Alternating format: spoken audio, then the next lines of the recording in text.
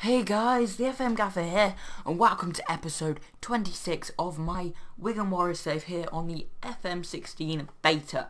Now, today we um uh, have a game against MK Dons, because it was going to be against Sheffield Wednesday, but then I forgot and just played through that, and I played through one more game against Bolton. So, um, yeah, we have um, MK Dons instead today, which I think is, yeah, just as good. So, transfers that have happened uh, since you last joined us. So, these six transfers, so more Fernandez, Holland and Sulic have gone out on loan. I was planning to keep Holland, but we got a backup keeper in, so um, we don't need him at the first team anymore. So we've loaned him out to Bradford Park Avenue, which I think play in the sixth division, or they do currently. This is quite a bit into the game, so they might not anymore. So they yeah, they now um, they now play in the conference. So yeah, they won the they won the Vanarama North North last year. So go Mount he has gone out to Latina for six million pounds, and no way did I want to sell him for that cheap. I would have gone up to ten million easily, but he had a release clause, and there's nothing I could do about it. They bid six million, and they took him away, and he was get he was unhappy. He did ask to leave anyway. Um, so yeah, he's gone out for six million pounds, but I think I've got a good replacement. So Mergia, well, no, Mergia basically is the replacement because uh, I think you guys knew about him last time.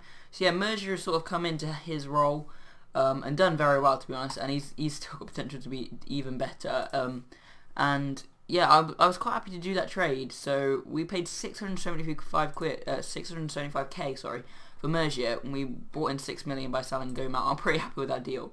Um, was very good for us, and I would have liked to keep him, but you know, we've got Mergia and we've got Lansbury, and we're quite good in that position. So yeah, we we also brought in Dilrosun. Now he is a he can play right wing, left wing, or up front, but he's been playing right wing recently for me mostly. And again, he's another guy with just such great potential. 20 years old, Dutch, signing from Man City for 500k. I think that's a very good deal. And um, he's going to be one for the future. I've been playing him recently. He's scored a few goals actually. And this is our new backup keeper, Daniel Bachmann. He's just quite solid for a keeper. 24 years old, Austrian. Signed him from. Uh, he used to be at Stoke and had some loan spells Sky, uh, in Sky Bet League One. He's just going to be a solid backup. I literally signed him so Sam Holland could go on loan. That was literally it because um, I think Holland's football will be better developed. He's he's really he's developed very well. And someone I just want to show you how much they've developed. This guy Hamza Choudhury. He is oh he has so many more green arrows earlier, but like yeah he's improved so much as a player. We just highlight his best attributes for this. Okay, why isn't it highlighting it? um, highlight key attributes for all. Okay, there you go. So tackling 13, work rate 16, determination 15, bravery's gone up, aggression's there, strength and stamina have both gone up. Stamina I think was around 15 before, and strength has gone up. And yeah, he's just gone up in all round areas which are always good. Like for example, pace is always good, even for a centre back. Vision's always good. Uh, sorry, for a centre mid. Um, vision's always good. But yeah, for especially for a centre mid, though maybe not for a ball winning midfielder. Off the ball's always good, and yeah, marking's gone up, position's gone up, acceleration is decent. So um, he has really improved and come on a long way. He's now three and a half star. So technically, if you don't count the black star, he's reached his potential. He's only 21. So hopefully, he still has more to grow. And yeah, he has been a fantastic player. So let's see what's been happening since that opening day draw with Birmingham. So we lost in the Capital One Cup to Fleetwood. We played a completely changed side, as you can see here. We played everyone that yeah, we just played the complete full rotation that you could play. And in the end, we lost the match. I was quite happy to lose. I wasn't that bothered. Hennon got them their goal. Um, but yeah, then we moved on and we beat Reading 3-0 in the second game of the champion uh, championship season. Lewis Grabban grabbing two. Henry Lansbury uh, grabbing the third. And Shibboleth got sent off late on. Choudhury picked up a little bit of an injury for this. But um, I think he was back next match, maybe. Or, okay, maybe the match after. But yeah, I think he was fine. I think it was like a three to four day injury or something like that. We then lost to Wigan really disappointingly. Lansbury gave us the lead in this one. Jack Stevens equalised it up. And Andre Gray got a 92nd minute winner. That hurt. It was so annoying because I sort of did go for it in a bit because we did dominate the game. And um, yeah, we got punished. But that was fine. We moved on. Four days later, got a really, really hard 4-1-0 win against Ipswich. Lewis Grabban getting the only goal of the game. Then our last victory, uh, sorry, our last non-victory against Cardiff. They played, they outplayed us in this game. Fair play to them. Ber Beauregard and Ryan Fraser getting their goals, and we just couldn't, we couldn't get back. But um, yeah, we did bounce back. Two weeks later, when we played West Brom, Yavaro Dilrosun, as I told you, getting both the goals, and yeah, he has been a revelation, well, especially in that match, and yeah, he did really well. He scored again in this match. He scored the winner, actually, now that I look at it. Um, McCann gave us a lead against Leeds away. Ceravolo equalised, so it was 1-0 at half-time. Dembele then put us back in front. Sarav- uh, Dilrosun then made it 3-1. Ceravolo pulled one back. We managed to hold on for the win. Then got a 2-0 win against Sheffield Wednesday. Omar, I paid him for this match, like completely out of the blue, because all our strikers were like 90% or lower. And um, uh, other than him, obviously. And yeah, he, he picked up a goal, and he actually, I think he was, he did a, I think he got like the second assist for Scott Sinclair's goal.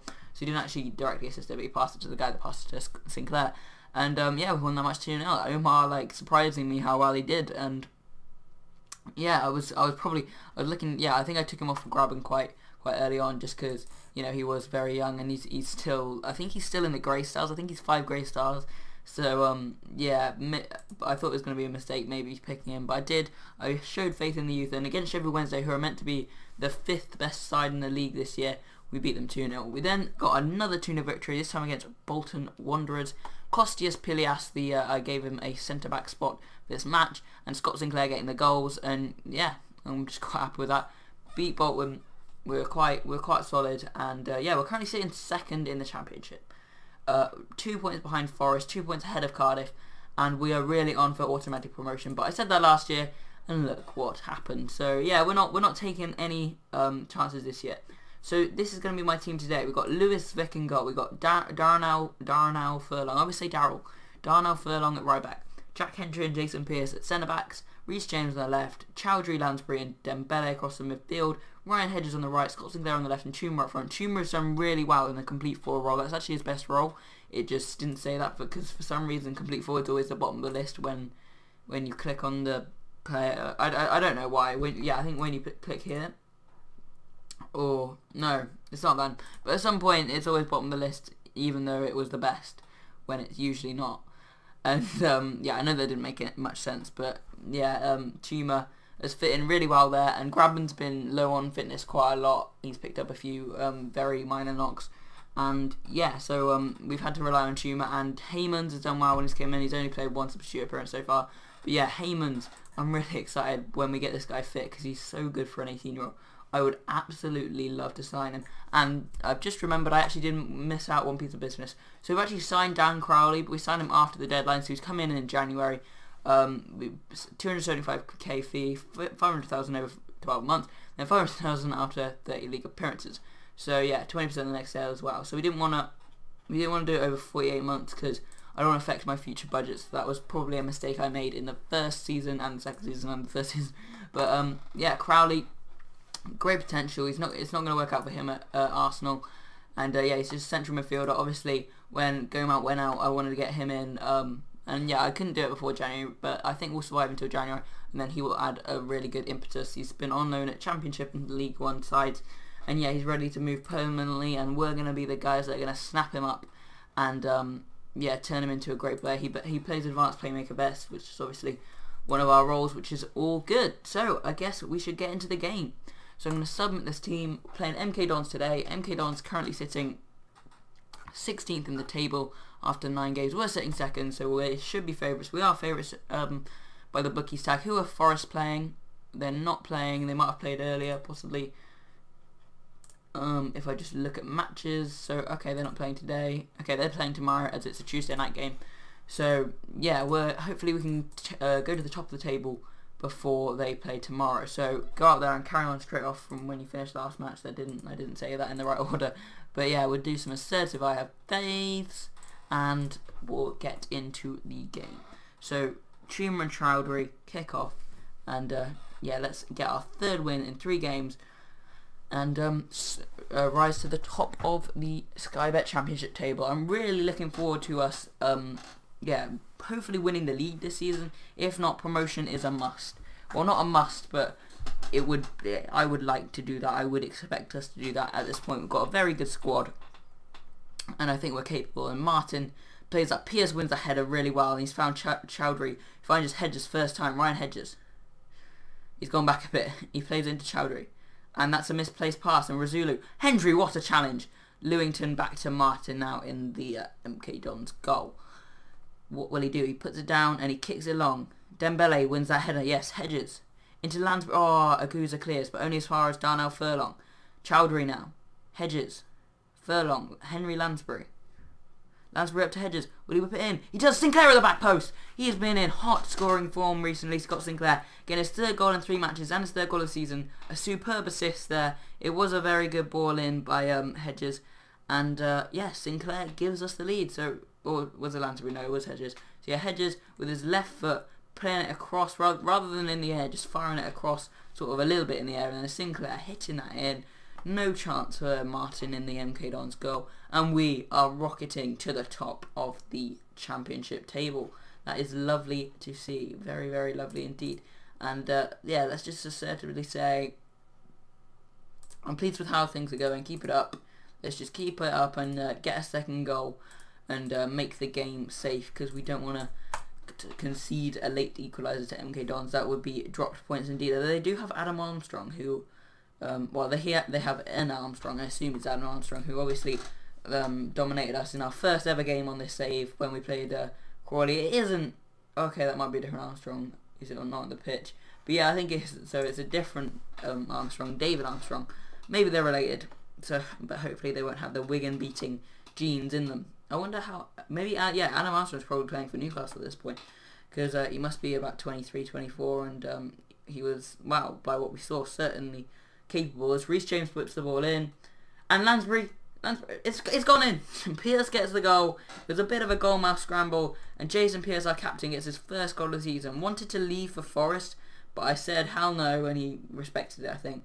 But yeah, Lansbury firing it in. Why this camera angle? I've got to change it. It's going to go to close because um, people have been saying that's the best. Pro zone angle, obviously you can see the whole team, but I'm not going to use that. We're going to use close as apparently that is the best angle to use. Chuma looks like he's oh did I didn't realize it was so late in the game. Chuma's picked up an injury. We're gonna bring on Heymans. We're gonna change it to attacking uh, forward, advanced forward. Sorry, in a minute. We're gonna bring Mitchell on for Sinclair. We're gonna bring Dembele. No, we can't bring Dembele off. We're gonna bring nope. um, who can we bring off? We'll just bring off Ryan Hedges for Dilrosun. Just give all the young wingers a chance and uh, when these are made I will change it up to the attacking uh, sorry advanced forward uh, tactic so there we go so now that will fit uh, Heymans a bit better and he is offside already. Furlong there. Oh I didn't realise Furlong was a real player. Who does he actually play for at the start of the game? QPR so yeah maybe he is um, a good youth prospect in, the, in real life as Lewington throws that. And there we go. It's full time. Another 2-0 win. Our third in a way, third in a row. Uh, and a third game in a row for Scott Sinclair to score. So yeah, we're in good form. We've gone to the top of the league. I am just going to continue a day just to see if Forest slip up, see if we can end the episode um, or end the week as a um, a as the top side in the division.